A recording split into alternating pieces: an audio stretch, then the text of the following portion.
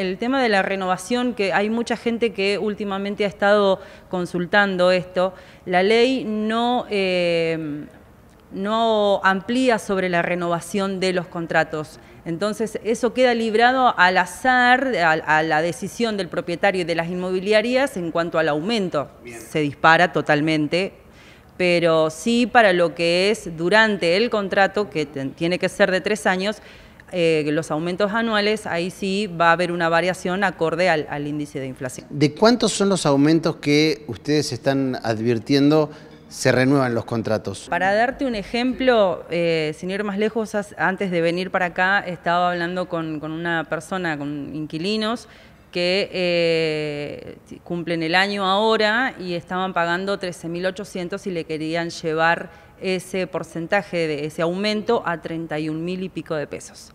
Ahí, eh, cuando entramos a calcular, no se condice, no se condice con lo que eh, está variado por nación. O sea, hay 10 mil pesos de más que le están cobrando. Vemos muchas casas en venta en la ciudad de Santa Rosa.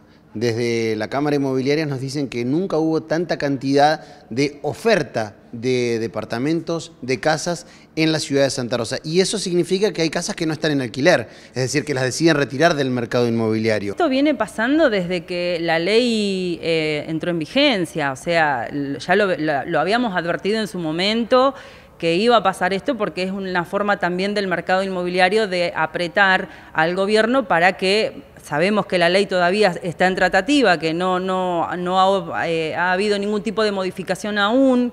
Eh, entonces, eh, nada, es seguir metiendo presión, seguir, seguir jugando con la necesidad de las familias y con el bolsillo de las familias también.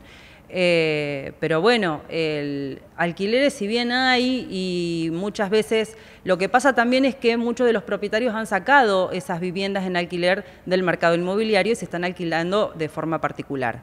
Eh, pero en, venta, o sea, sí, la ponen a la venta, pero hoy por hoy, al precio del dólar como está hoy, es imposible también que la puedan comprar. Entonces no les va a quedar otra que en algún momento terminar eh, pasando a eh, la situación anterior, que es alquilarla.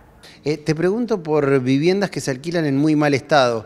Semanas atrás tuvimos la posibilidad de recorrer bueno, la vivienda que le están alquilando a madres con hijos a cargo, a madres solteras. Eh, ¿Advierten, tienen denuncias ustedes de viviendas que se están alquilando en pésimas condiciones? Para sí, pero esto desde siempre, desde inicios de la organización que se viene eh, manifestando este tipo de cuestiones. Pero bueno, repito, es el Estado quien tiene que controlar esto.